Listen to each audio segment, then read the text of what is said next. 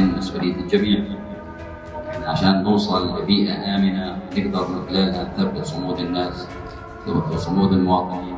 لا بد من يكون في شراكة مجتمعية. وعلى هذا الأساس إحنا جينا اليوم ومعنا وفد مدير عام الشرطه المجتمعية. والناطق باسم الشرطة الفلسطينية لأهمية هذا اللقاء.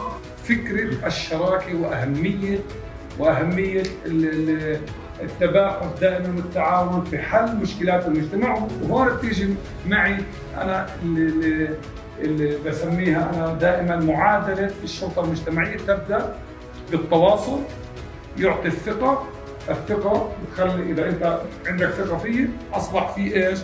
في قبول للشراكة الشرطة هي مؤسسة إنفاذ القانون والعلاقة ما بين المواطن وما بين الشرطة هي العلاقة القانونية وهذا بالإطار العام. ولكن لما يكون في هناك علاقة تشاركية ومجتمعية بالتأكيد الأمر بيختلف تماما.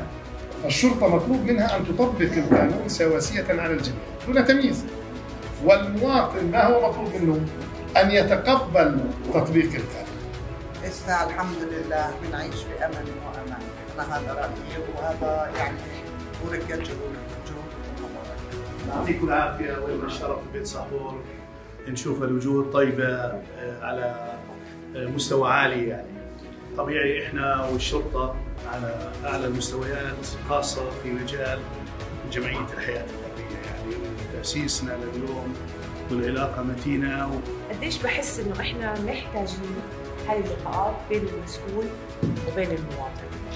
الشراكه خلينا نسميها الشرطة والمواطنين إنه أنا أنا بشوف إنه يجب أن يكون هناك قانون صارم لحماية ممتلكات المواطن